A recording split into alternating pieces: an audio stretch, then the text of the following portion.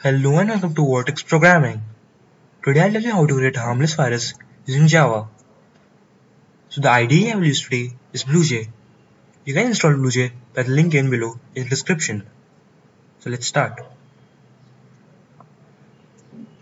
First I'll create a new class named virus.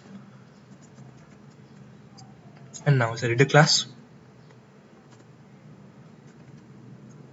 So over here we have to import two things that are import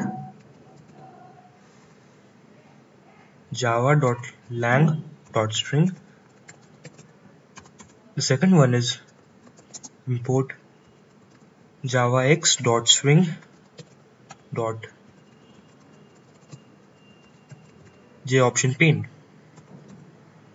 so now we have to type the basic syntax of a java program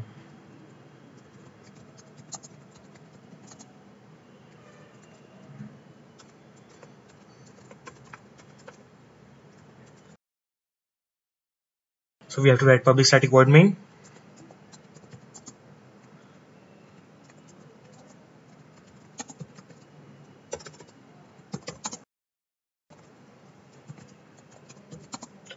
String args.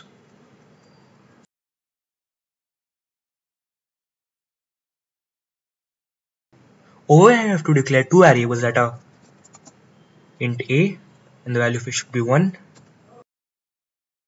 and b and the value of b should be 2 so now we have to write while and in brackets b is greater than a.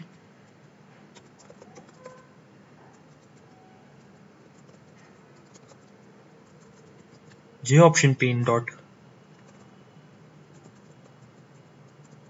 show confirm dialog so first open brackets.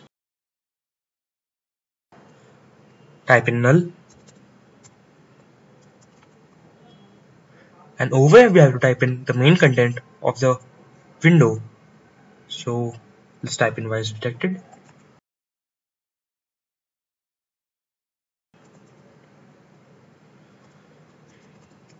And over here we have to type the title of the window. Let's type in error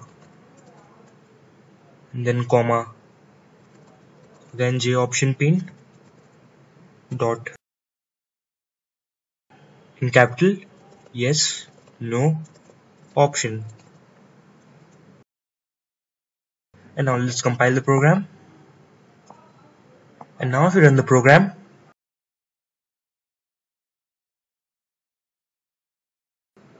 there you go.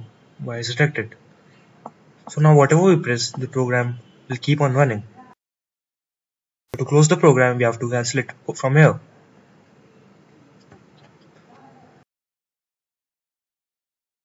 So this is how to create a harmless virus in Java. Please like if you found this video informative and don't forget to subscribe.